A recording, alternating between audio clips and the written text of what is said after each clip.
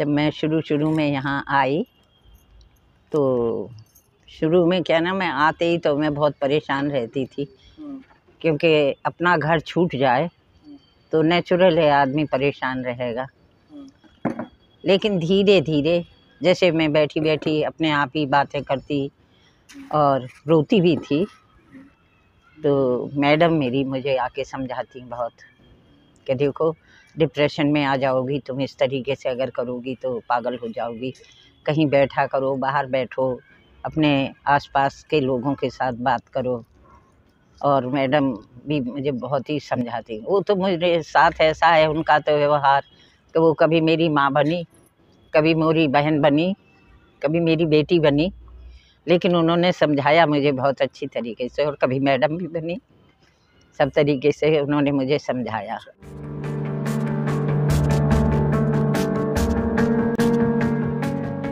यहाँ सभी लोग बहुत अच्छे हैं और आपस में अच्छी तरह रहते हैं।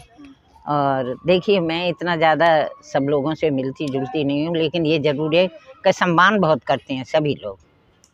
हाँ बहुत आदर भाव करते हैं। आपस में भी बहुत अच्छी तरह रहते हैं लोग।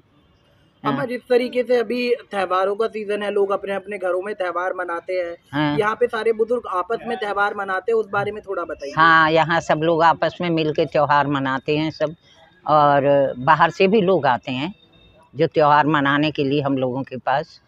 वो मतलब दिए विए जलवाते हैं और यहाँ से भी, आश्रम से भी जलते हैं और मिठाई वगैरह भी बांटते हैं। यहाँ भी बांटी जाती है, बाहर से भी बहुत लोग आते हैं मिठाई वगैरह बांटने के लिए।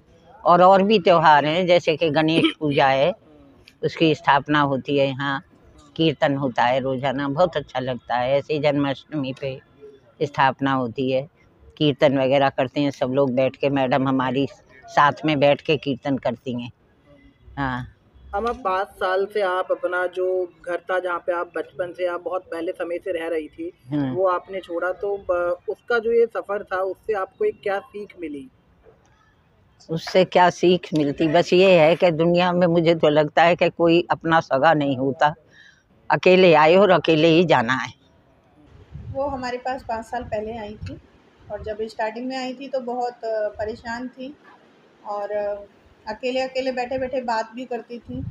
जैसे आदमी डिप्रेशन का शिकार हो जाता है। और रोती थी बहुत, बच्चों की याद आती थी। फिर हमने धीरे धीरे उन्हें समझाया। व्यवहार उनका बहुत अच्छा है, हमारे लिए ही नहीं, अपने जो उनके और भी साथी हैं रूम पार्टनर हैं, उनके लिए भी बहुत अच्छा व्यवहार है। तो आप लोग किस तरीके से उनकी अभी केयर करते हैं डे टू डे केयर के बारे में आप क्या कहना चाहेंगे? केयर उनकी अच्छे से हो रही है। कई बार एक उनके भांजे हैं जो अमेरिका रहते हैं तो उन्होंने मतलब उन्हें ये बोला है कि मैं आपको अच्छे किसी वृद्धाश्रम में रख देता हूँ, जैसे एयर कंडीशनर है या नोएडा कोई अच्छा होगा तो उसके लिए बोला है कि हम वहाँ रख देते हैं, लेकिन वो यहाँ से जाना नहीं चाहती। उनका मन यहीं लगता है।